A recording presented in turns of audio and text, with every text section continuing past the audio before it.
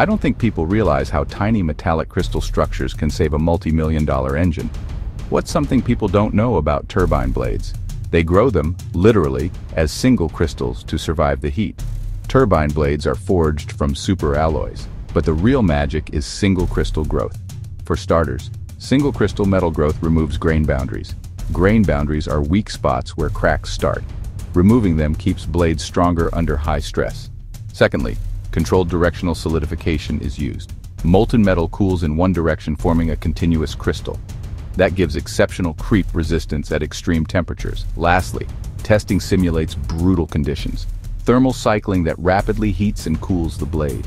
High-speed rotation stressing the blade at thousands of RPM prevents corrosive gases formed during combustion from attacking the metal surface. These tests prove blades survive thousands of flight hours. Engineers protect blades with coatings and cooling.